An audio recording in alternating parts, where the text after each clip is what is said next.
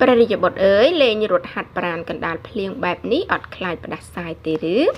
ដឹងទេនារីខ្មែរច្រើនណាស់កំពុងតែបារម្ភ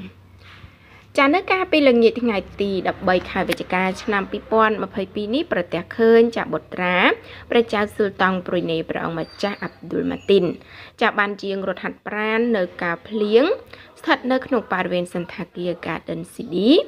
ចាក្រោយអមព្រះរាជដំណើរជាមួយព្រះបិតាដើម្បីចូលរួមកិច្ចប្រជុំកំពូលអាស៊ាន និងកិច្ចប្រជុំកំពូលពាក់ព័ន្ធទៅនឹងបំពេញទស្សនកិច្ចផ្លូវរដ្ឋក្នុងកម្ពុជា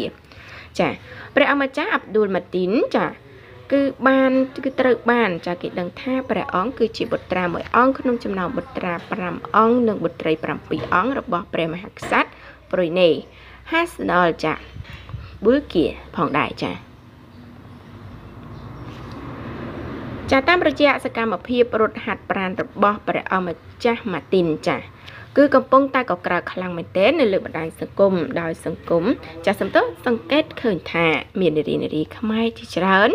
ចាបានសេអាចាយរំលែករូបថតរបស់ព្រះអង្គចារួចភ្ជាប់ មកជាមួយនឹងសារបែបព្រួយបារម្ភពីព្រះសុខភាពរបស់ព្រះអង្គម្ចាស់ចាគ្រប់គ្នាក្រោយឃើញព្រះអង្គរត់ហាត់ប្រាណនៅក្រោមដំណក់ទឹកភ្លៀងបែបនេះ។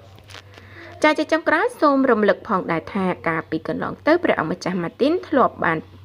ចាស់មានព្រះបន្ទូលថាព្រះអង្គមិនចូលចិត្តដេកសបាយចាយវាយទ្រព្យសម្បត្តិរបស់ព្រះបិតាឡើយព្រះអង្គចូលចិត្តជីវិតបែបសាមញ្ញនិងចំណាយពេលជាមួយគ្រួសារនិងមិត្តភ័ក្តិព្រមទាំងចូលចិត្តលេងកីឡាដូចជាវីកូនគោលប្រដាល់ជាសេះនិងបាល់ទាត់ជាដើម